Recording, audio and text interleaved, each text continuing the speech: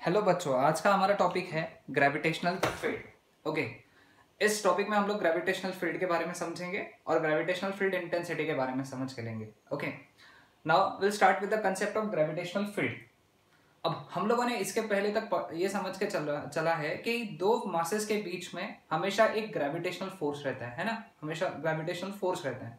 उसका value Newton's ने दिया है F is equal to G into product of the masses upon दोनों के बीच के डिस्टेंस का स्क्वायर ठीक? अब, अभी हम लोगों को क्या समझना है यहाँ पे कि हर मास हर मास उसके आजू बाजू एक इमेजिनरी फ़ील्ड बनाता है। Okay imaginary field imaginary area बना रहा है।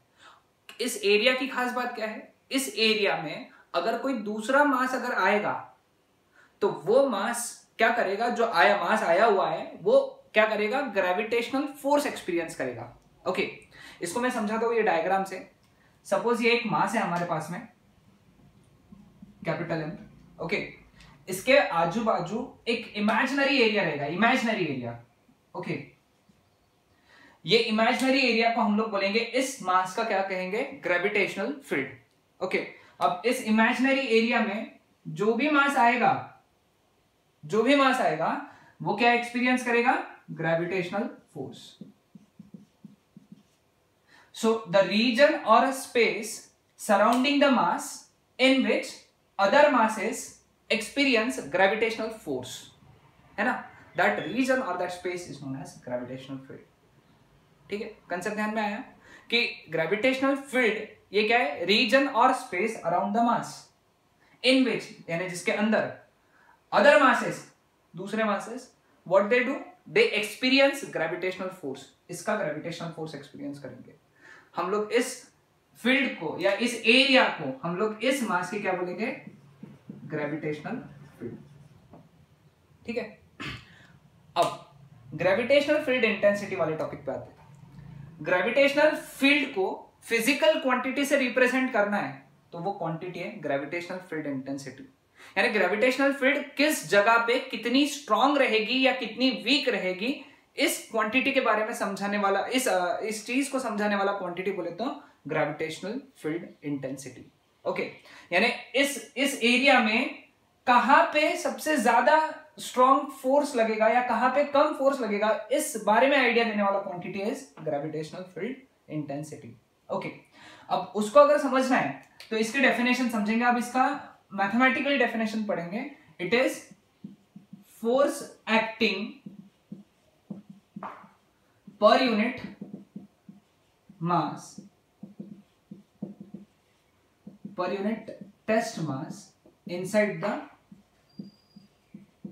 gravitational field okay अब हम लोग क्या करेंगे? इसको समझ के लेंगे अच्छे से. सपोज़ यही सिचुएशन कंसिडर करते हैं. हम लोगों ने क्या कंसिडर किया है? कि एम मास कंसिडर किया. उसके आजू बाजू ये उसकी ग्रेविटेशनल फ़ील्ड है. सपोज़ इस पॉइंट पे which is situated at a distance small r ये पॉइंट पी है। हम लोग चाहते हैं कि यहाँ पे ग्रेविटेशनल फ़ील्ड कितनी है, वो निकालना है हम लोगों को। ओके.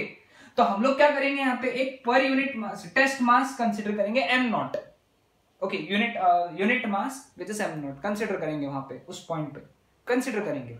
ठीक है? अब ये क्या करेगा? इसको अट्रैक्ट करेगा। इस पे क्या लगाएगा? इस मास पे ग्रेविटेशन फोर्स लगाएगा। कितना ग्रेविटेशन फोर्स लगेगा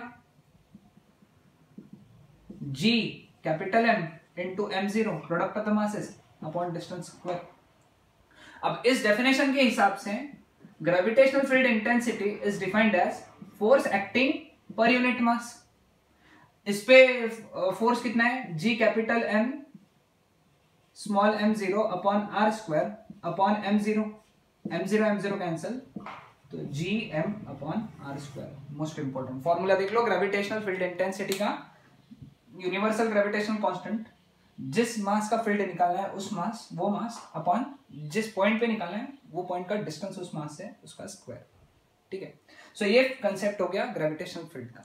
Now since this is a vector quantity ये क्या एक वेक्टर क्वांटिटी है? ओके तो इसका मैग्नीट्यूड होना चाहिए। इसका मैग्नीट्यूड जो हो गया, वो हो गया G M upon r square now what about direction इसका जो डायरेक्शन है that is same as the direction of force क्योंकि vector E is equal to vector F upon m naught तो डायरेक्शन जो फोर्स का डायरेक्शन रहेगा, वही gravitational field intensity का डायरेक्शन रहेगा. तो यहाँ पे ग्रेविटेशनल फोर्स का, इस मास पे ग्रेविटेशनल फोर्स टुवर्ड्स रहेगा तो यहाँ पे टुवर्ड्स डायरेक्शन रहेगा ग्रेविटेशनल फ़ील्ड इंटेंसिटी का. इस पॉइंट पे अगर ग्रेविटेशनल फ़ील्ड निकालना है सपोज़ आर वन डिस्टेंस पे तो डायरेक्शन ये रहेगा और वैल्यू कितना रहेगा? G M upon r one square इस पॉइंट पे अगर हम लोगों को क्या निकालना है? ग्रेविटेशनल फ़ील्ड तो डायरेक्शन ये रहेगा आर टू डिस्टेंस से डायरेक्शन ये रहेगा G M upon r two square okay so this was the concept of gravitational field intensity okay अब, यहाँ से एक इंपॉर्टेंट फॉर्मूला आप लोगों को वही याद रखना है कि gravitational field intensity due to point mass point mass की वजह से ग्रेविटेशनल फ़ील्ड इंटेंसिटी कितनी रहेंगी? तो सपोज़ ये एक पॉइंट मास है कैपिटल एम हम लोग चाहते हैं कि आर डिस्टेंस के दूरी पे, एक पॉइंट पी पे हम लोगों को ग्रेविटेशनल फ़ील्ड निकालना है।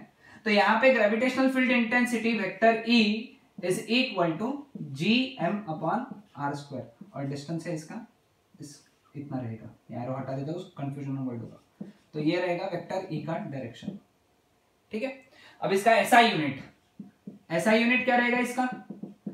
ये क्या है? Force acting per unit mass तो ये है ना तो इसका ऐसा यूनिट क्या हो गया, फिर इसका ऐसा यूनिट क्या हो गया? फोर्स का कितना है? न्यूटन मास का कितना है? केजी तो न्यूटन पर केजी सो ये हो गया इसका ऐसा यूनिट डिमेंशन निकाल सकते हैं।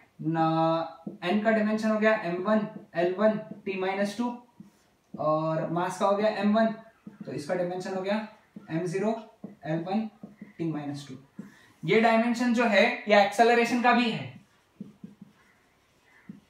सो एक्सेलरेशन और ग्रेविटेशनल फ़ील्ड इंटेंसिटी इनके डायमेंशन सेम है डायमेंशन सेम है that's it in this lecture